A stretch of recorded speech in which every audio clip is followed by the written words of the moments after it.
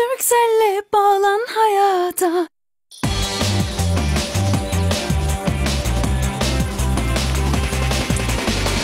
Türksel köy havasını sunar. Merhaba sevgili izleyiciler, Köy Olsun hoş geldiniz. Oldukça soğuk iklime hakim olan bir bölgedeyiz. Neredeyiz? Ardahan'dayız. Ardahan'da kaya altında muhtarımız İbrahim Muhtar'la konuşacağız. Soğuklarla nasıl başa çıkıyorlar, ne yapıyorlar? Uzatmadan hemen dönelim kendisine. Merhaba Muhtar, nasılsınız, iyi misiniz? Teşekkür ederim. Kolay gelsin. Sağ olun. Sağ olun. Allah razı olsun. Muhtarım soğuk mu? İlk önce öyle başlayayım. Soğuk mu havalar? Şu an karla mücadele ediyoruz. Kar yağıyor. Yarım metre falan kar var. O yarım metre oldu daha şimdi. Ya şu an şu an şimdiden yarım metre falan kar var. Peki bizim e, kaya altında nüfus ne? Oradan bir ufak ufak tanımaya başlayalım sizin oraya. Nüfus Köyümüz Kayaaltı köyü 140 hanelik bir köy. Nüfusu 920 nüfusumuz vardır. Peki şimdi yarım metre karda oldu dediniz. Neyle uğraşıyor orada şu an için? Yani geçim kaynağımız ne diyeceğim? Tarım yok o zaman. Bizim e, geçim kaynağımız genellikle hayvancılıkla e, uğraşıyoruz. Kendimiz de hayvancılık. Yazın merada hayvanlarımız yayılır. Kışında işte onun otuyla, samanıyla hayvancılık. Kaç baş var? Köyümüzün şu anda 3000-3500 hayvan var köyümüzde. Ne? Besicisi süt mü? Besicilik mi? Neyle uğraşılıyor peki? Süt, e, süt, süt efendim. Besicilik burada yok. Biliyorsunuz Besicilik yok, uzak süt. memleket. Üretiyoruz. Biz de bunu Ankara'ya işte Ankara, İstanbul, oradaki besici arkadaşlara pazarlıyoruz. Peki Kayaaltı nereye bağlı? Ardahan Göle, Göle ilçemize. İlçeye bağlı.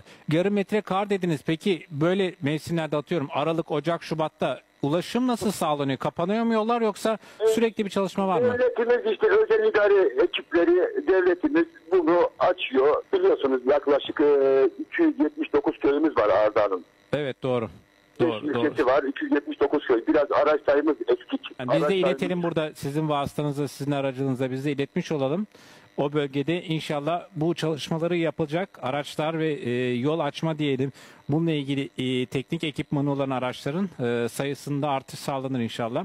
Peki bizim İnşallah. e, Kaya Altı'nın sizin o bölgenin meşhur bir yemeği var mı? Bir festivali, etkinliği, yemeği? Ya bizim buranın busu meşhurdur diyebileceğimiz. Doğrudur. Bizim buranın meşhur yemekleri genellikle kaz olur.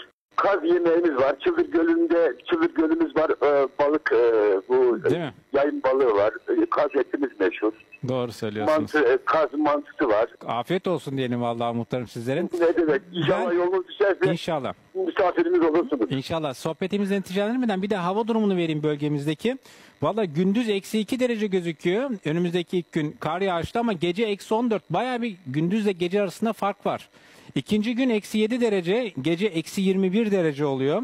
Ee, üçüncü günde eksi 5 derece, eksi 17 derece hep kar yağışlı bir hava hakim. Ee, Valla e, size kolaylıklar diliyorum orada. Ee, tüm kaya altına, tüm oradaki vatandaşlarımıza, sizin adınıza biz de selam söylüyoruz buradan.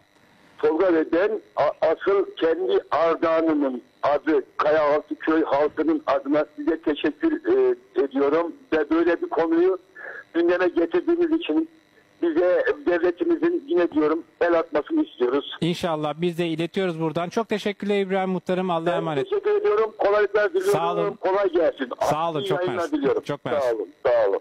Sevgili izleyiciler, devletten kaç lira geri ödemesiz destek alabileceğinizi bilebiliyor musunuz? Türksel Tarım Doktor aboneleri yetiştirdiği ürüne devletten kaç lira geri ödemesiz destek alacağını anında cebinden takip edebiliyor. Tarım yazıp